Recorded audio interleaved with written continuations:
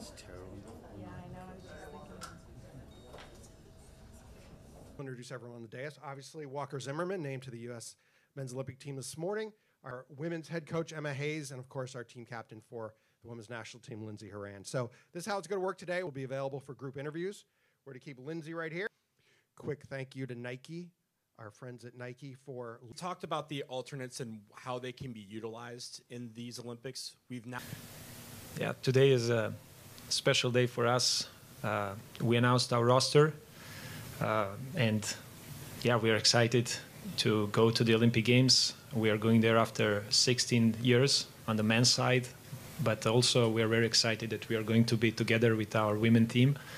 After almost two, get, two, uh, two decades, we'll have both team representing our country at the, at the Olympic Games.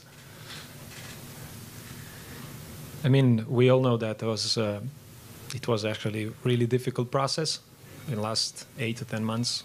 Uh, first talking to the clubs and uh, trying to get all the players released. Uh, yeah, was on one side it was a great experience for me to learn how, how that works. Uh, yes, there was challenges, but uh, however, we'd end up with a roster that, that we really believe that can represent us on the best possible way. And uh, I'm, I'm, I feel very, very good about team that is going to the, to the Paris. To think about everything, and this is a great question. Actually, yeah, we end up with this situation.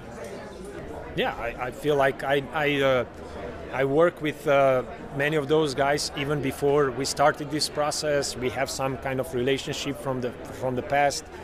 Uh, they are a great group. They are willing to, to do any, anything that is, they are asked to do, and uh, yeah, I feel very, very, very positive and excited about the group that we have with us. Well, I don't have the uh, Olympic pedigree that Lindsay does over there. So for me, uh, first time uh, going to the Olympics. Um, obviously, as an overage player on the men's side, you know, my cycle we didn't qualify, and that's when I thought, you know, my dream is over. I won't have the chance to play in the Olympics. And then as things materialize later this year, um, just getting this opportunity is amazing. It's something I've always watched growing up, something I've always wanted to participate in. And again, I thought that was over.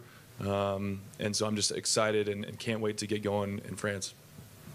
Go about things that you can take from this and build and layer into what the senior team is. You know, in any tournament, you know, even the smallest of, of decisions can affect winning a medal or not. And so that's, you know, going to be a really key point for us is is how we can handle those small moments um, and make sure we don't slip up for a dumb reason. and then you're obviously we've talked about the alternates and how they can be utilized in these Olympics.